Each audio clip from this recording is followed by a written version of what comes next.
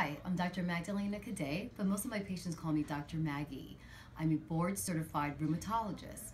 I'm the new director of the Bone and Joint Health and Osteoporosis Center of the Spine and Pain Institute of New York.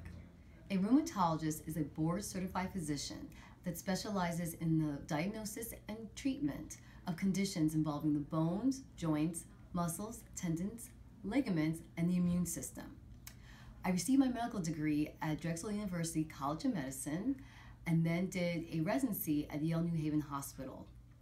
I then specialized in rheumatology at Hospital for Joint Diseases, and now I'm a cl clinical associate professor at NYU Langone Medical Center.